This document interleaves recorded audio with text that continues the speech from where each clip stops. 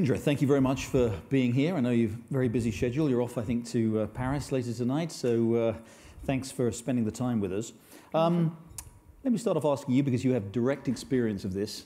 Mm. Um, the route from CFO to CEO does seem to be, coming, be becoming more common. You were one of the pioneers of this um, uh, back in 2006 when you became uh, CEO of PepsiCo. Wh why do you think it's becoming more of a more, more of a well-trodden route into the, into, into the top job?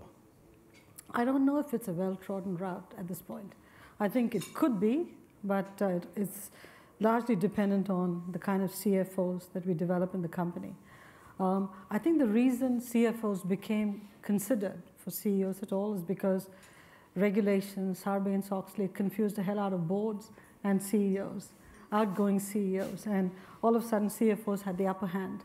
Um, I think over the years, other issues are now trumping the agenda.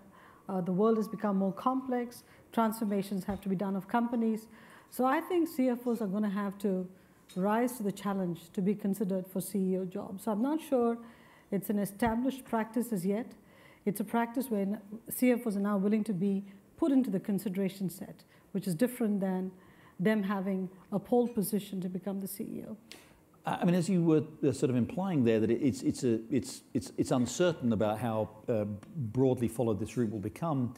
Um, what are the, it, seems that, it seems that a CFO's role can in some ways be quite fundamentally different from a, C, from a CEO's role. There's, a, there's the obligation to, you know, to, to, to, be, the, to, to be the intendant of financial discipline, uh, whereas the CEO's role is required to be more strategic. Is there a, is there a should there be clearly defined, demarcated responsibilities there? So let me step back a little bit, uh, Jerry. And I have to tell you, every time I hear the name Jerry Baker being introduced, I'm thinking of sort of Ginger Baker of the Cream or something like that. and I show up yeah. here, he wants to talk to you about You haven't seen me play the drums, Indra, but, I, but if, you, if you'd like me to do, a bit of drumming, well, we, uh, I'm, I'm, very happy to, to keep you interested. That's okay. so we'll talk CEO, CFO. So I'm going to lead into music for in a minute. Um, mm. I, I, you know, I, I to think. You had a bit more hair than I had. I seem to recall. But, so, That's for sure. Yes, I remember. I yeah, yeah. maybe he was yeah. always wearing. A, this is a chit chat to get you your uh, soccer scores, but. Uh, yeah. yeah.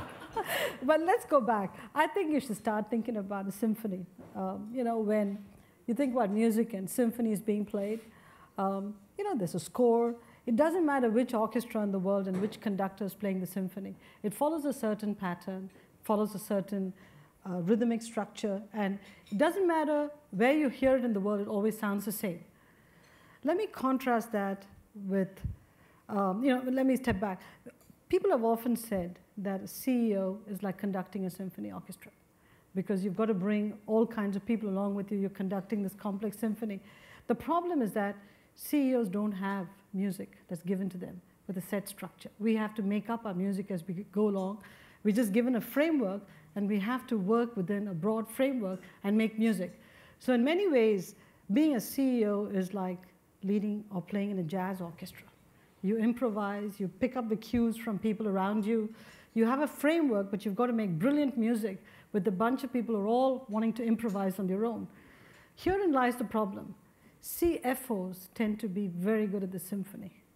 When you've got to sort of graduate or move to a jazz structure uh, appreciating symphony.